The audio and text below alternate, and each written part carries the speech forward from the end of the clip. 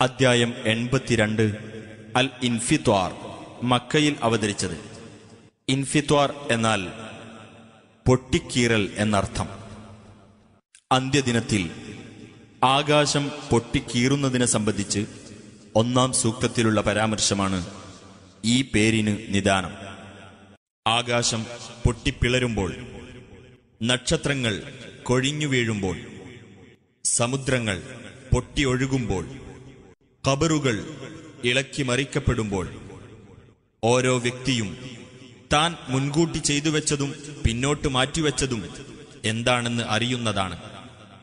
ഹേ മനുഷ്യ ഉദാരനായ നിന്റെ രക്ഷിതാവിന്റെ കാര്യത്തിൽ നിന്നെ വഞ്ചിച്ചു കളഞ്ഞതെന്താണ്? നിന്നെ സൃഷ്ടിക്കുകയും നിന്നെ സംവിധാനിക്കുകയും നിന്നെ ശരിയായ അവസ്ഥയിലാക്കുകയും ചെയ്തവനത്രേ അവൻ. താൻ ഉദ്ദേശിച്ച രൂപത്തിൽ നിന്നെ സംഘടിപ്പിച്ചവൻ. അല്ല പക്ഷേ പ്രതിഫല നടപടിയെ നിങ്ങൾ നിഷേധിച്ചു തള്ളുന്നു. തീർച്ചയായും നിങ്ങളുടെ മേൽ ചില മേൽനോട്ടക്കാരുണ്ട്. രേഖപ്പെടുത്തിവെക്കുന്ന ചില മാന്യന്മാർ. നിങ്ങൾ പ്രവർത്തിക്കുന്നത് അവർ അറിയുന്നു.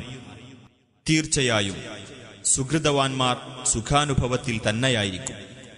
തീർച്ചയായും ദുർമാർഗികൾ ജ്വലിക്കുന്ന നരകാഗ്നിയിൽ തന്നെയായിരിക്കും.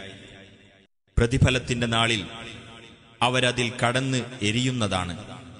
അവർക്ക് അതിൽ നിന്ന് മാറി നിൽക്കാനാവില്ല.